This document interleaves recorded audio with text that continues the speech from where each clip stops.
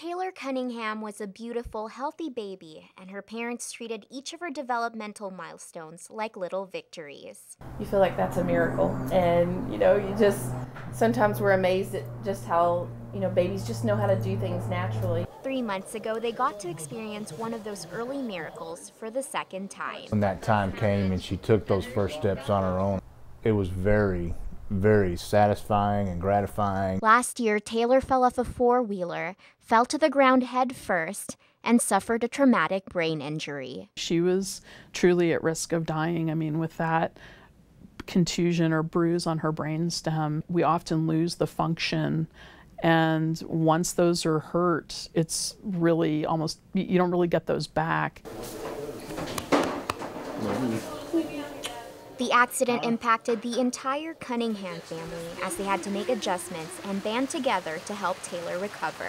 They kind of helped me at home with my therapy to make it easier and stuff.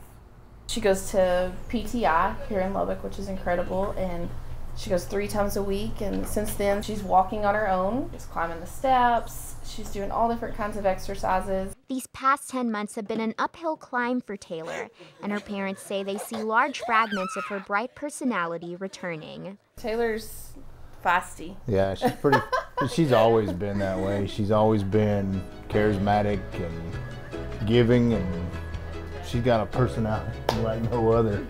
I'm happy that they get excited that I can do these things and it just makes them happy. So it makes me happy too. Awesome. Hello. The Cunninghams say the progress Taylor has made wouldn't have been possible without the care they received at UMC. Man, without UMC, without without the staff and without the equipment that was that was available, I honestly just don't believe that, that Taylor would be here. And though much of the accident is a blur for Taylor, she remembers exactly where she was when she took those first steps again as an eight year old. In the living room. Who are you going towards? Mom. Yeah. And when you finally made it to mom, what was it like? Exciting.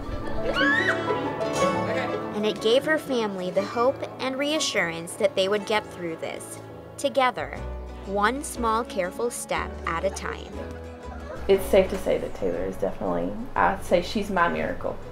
She's our miracle. Yeah. She's God's we'll miracle. share. yeah.